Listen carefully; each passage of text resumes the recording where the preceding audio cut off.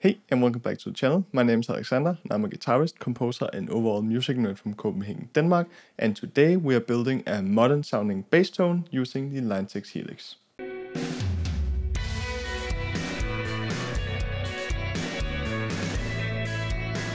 In celebration of me finally getting a proper bass guitar after many many years without one, I decided to do a bunch of bass patches and uh, this is one of them. So in this tutorial, we're going to dive into a sort of modern sounding proggy metal clean bass tone that you can of course build upon to uh, make it gritty and distortiony and uh, sort of djenty, if you will. So I'm simply going to walk you through the preset and we're going to take a look at the sort of tricks I use to come up with the bass tone that uh, in my humble opinion sounds pretty damn awesome. Also, if you would like to support me and the channel and get something more directly in return, I sell presets at this awesome page called New Vintage Audio, and you can check it out down in the description. If you're interested in composition, lessons, music production, and tutorials, make sure to subscribe to the channel and ring the bell so you don't miss my weekly videos. All relevant links are in the description, it's all free, so you have no excuse. Do it do it for glory. Okay, so let's hear what this tone sounds like in a mix, and then we'll dive into the tutorial.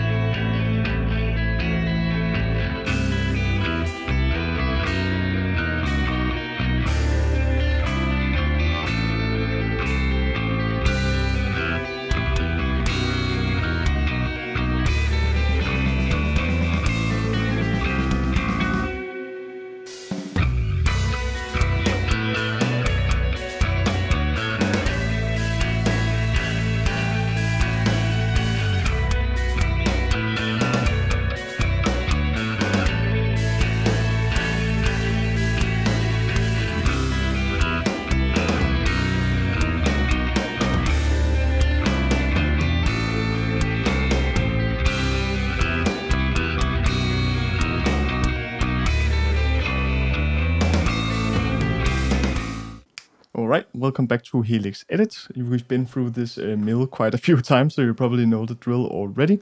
Uh, and we're just gonna walk through this uh, very simple tone. And as you can see, I have a quite uh, simple and sort of minimalistic chain going on. And I feel like that is where you get the best results, at least if you're not going for something uh, hyper complex and stuff like that. And I always uh, do this also, for my guitar tones. And then I sort of uh, do all of the fine mixing within the DAW. Uh, to tailor to a specific sound or something like that.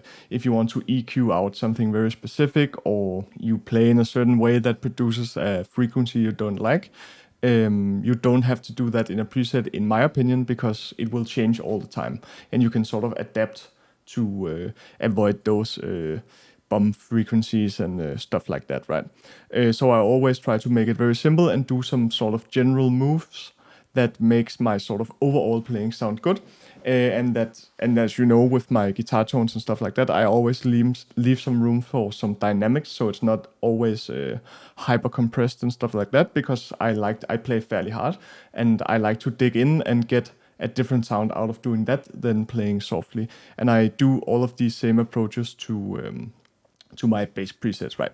And uh, as custom uh, this preset is made on my uh, fairly new uh, tokai five string jazz bass. So it's a fairly low picker, uh, fairly low output uh, with single coil pickups. So if you have one of those uh, super modern uh, humbucker basses and stuff like that, you may want to uh, start out by going to the uh, multi output here and turn the the level down because I have it at plus 12 dB, which is fairly crazy. Um, but then I don't have to to put my master so high. I have it around 12 o'clock, I can see uh, and that that works for me. And I'm never gonna, or never say never, but I'm I'm not in the uh, the next little while gonna use this space for any live uh, stuff or band rehearsals or stuff like that. It's only for studio stuff and videos and stuff like that, right? So that is where it sits well for me. Okay, so the sort of main beast uh, of this tone is the Ampeg SVT Brit. Um, And as you can see the settings, the drive slightly lower right, 2.7, bass is at 4.9, mids are at 7.0, and then we have this mid, mid frequency um, EQ thing at 800 hertz, and then the treble is at 9, and channel volume master is cranked all the way to 10. You don't have to do this. There's also a place where you can um, play around with uh, different volumes, right? If you don't uh, change the output, the main output. And then I have the sag at 7.6, the hum at 5, the ripple at 5, and the bias at 7, and the bias X at 5. And I'm still not quite sure what all of these does. Uh, I got a comment in one of my last videos that uh, educated me a little bit, but this time around I played around with them and I don't normally do that, and I'm fairly happy with that. And then we have the cap block and we have the 8x10 Ampeg SVT E, and we are using the 121 ribbon at a very close one inch. The low cut is off and the high cut is off. Uh, and you can of course play around with that if you have a an IR, but this whole uh, the point of this whole thing is to to get as far with stock cabinets uh, as I possibly can, and I think I got a pretty decent result. So this is what it uh, sounds like uh, without anything else.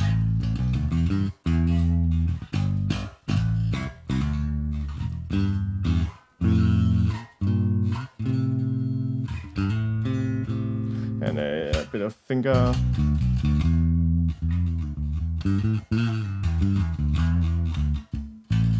Maybe some slap.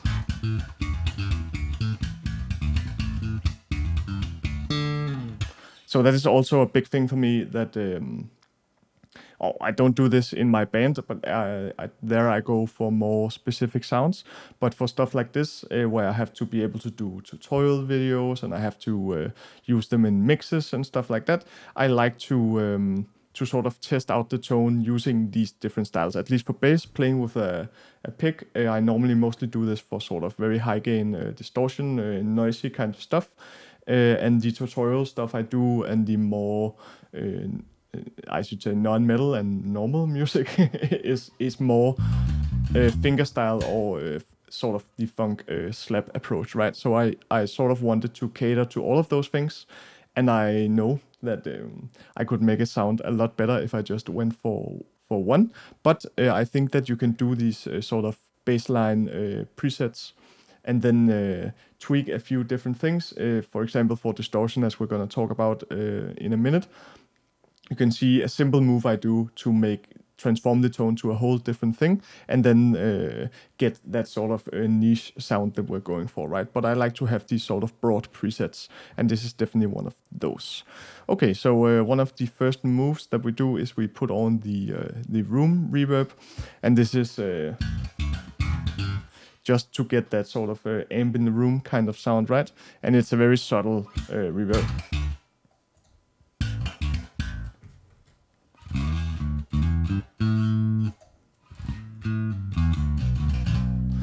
It's more of a thing that you feel than you hear, uh, at least in my opinion. And this is, of course, uh, the Nick Hill trick, right?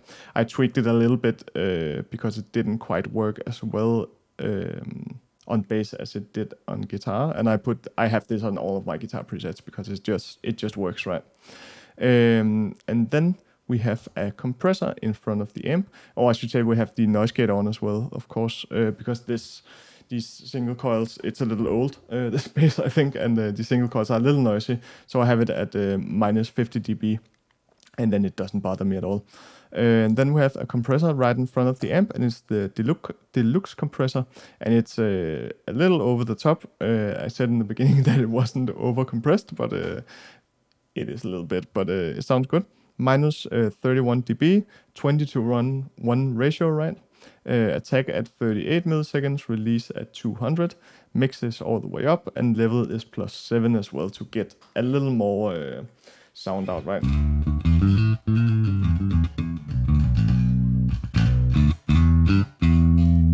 And without... You can hear it's almost sort of dead, right? Put it on again.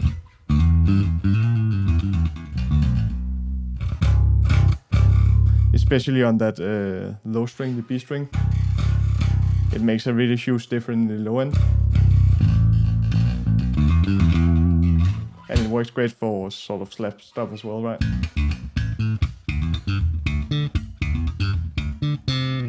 So you get that sort of nice, consistent, and really snappy sound, right? Okay, so the main sort of, um, other than the amp, of course, the main sort of thing here is the uh, Obsidian 7000 drive pedal, which is of course a Darkglass uh, emulation.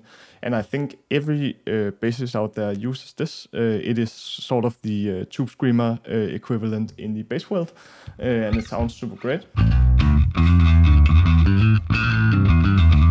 You can hear it really, it really changes the sound, right? So we take it off we are somewhere this could actually be used for maybe some more chill genres, maybe a jazz sort of sound. But uh, with this, get that nice rock uh, bass sound, right? And especially again the low end, right?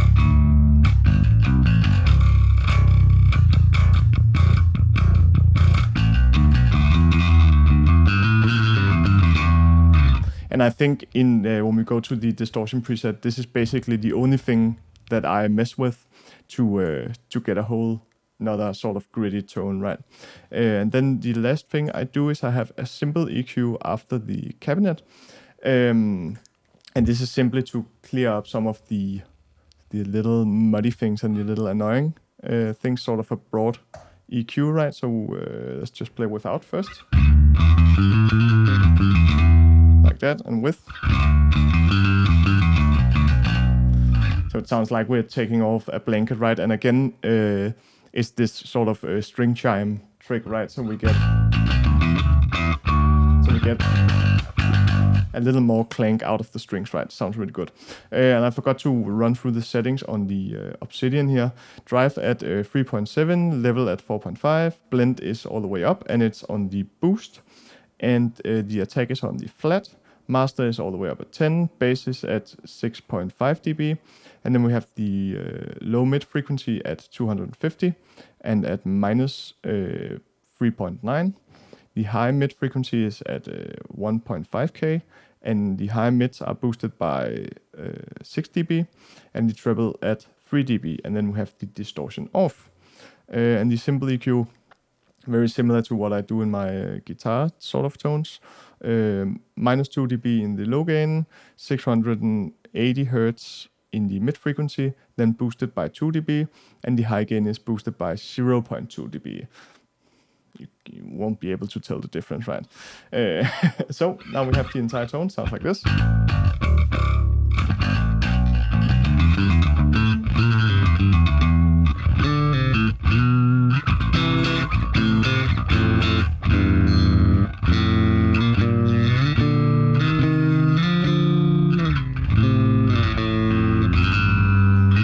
Nice functions on all the strings, tightens up the low end and stuff, and we do the finger picking text test, right?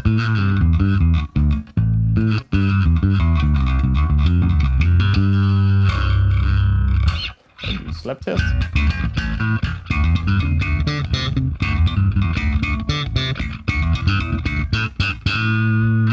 Sounds really good to me. Okay, so as promised, I wanted to show how you can make this uh, a more metal and more sort of uh, high gain tone, right? And all we do is, uh, or all I do is, I switch my preset here, and this is um, it's basically the same preset, right? You can see we have the same amp, and it's almost the same settings, right? We boosted the drive a little bit, and the treble a little bit.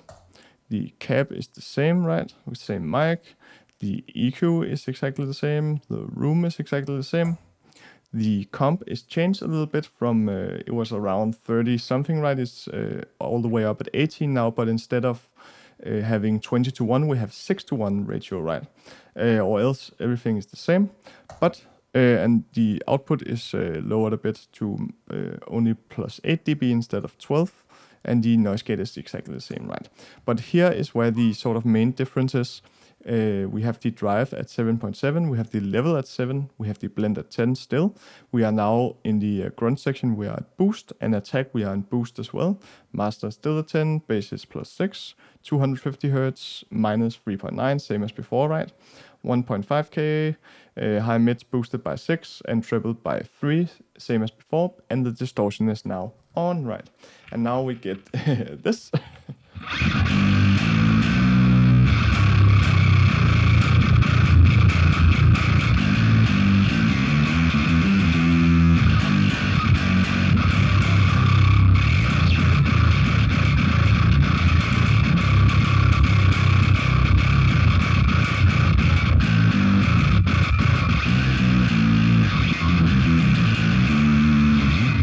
So as I mentioned in the beginning, this is very uh, geared towards a specific niche niche thing. So I would never uh, play this uh, with my fingers or attempt to slap it because you get so much uh, string noise when you sort of uh, grind up uh, against the strings, and I tend to do that a lot when I'm playing slap bass. So this is definitely meant for my own band's sort of sound. This with these big open parts, right, with a lot of grit and a lot of distortion. Um, and it works great for that. And all I basically did I changed some minor things, and that is that is very minor things. But mostly, I uh, basically just switched on the distortion, right, and uh, changed a bit of parameters to to push it a little bit harder, right. And that is sort of the uh, the overall lesson here that you don't need to um, to reinvent yourself every time you you want a preset that sounds a little different. You can build upon that sort of main uh, bass fundamental preset that you have that you like and that uh, tailors to how you play and makes you feel comfortable. And that is uh, a big thing, at least for me, to not fight against the instrument. And it's uh, mostly a compressor thing, right? Uh, avoiding that poppy uh, click sound compressors can have when you do it too much, but not uh, fight against the instrument and feel like, oh, I have to play really hard and it's hard to play legato stuff and stuff like that because mainly I have really small hands and on bass. I struggled a lot if I um, if I don't have my settings correct. Uh, and I know if I build it off my main sort of fundamental preset and then change around these sort of more effect uh, kind of things, I can get whichever sound I like. Thank you very much for watching guys. I, as always, enjoy doing these uh, Helix tutorial videos. They're very fun and I enjoy tinkering around in uh, Helix native and stuff like that and come up with cool tones and it seems you guys are enjoying as well. It is easily my most popular videos, so hit me up in the comments and let me know which sort of tone I should dive into next. And as always, feel free to subscribe to the channel, like the video, and maybe share it with a friend who would also benefit from this kind of tutorial. So that is all for this time, guys. Thank you very much for watching my videos. I really appreciate it, and I appreciate all the kind feedback that I get in return. So stay safe out there, promise me that. Until next time,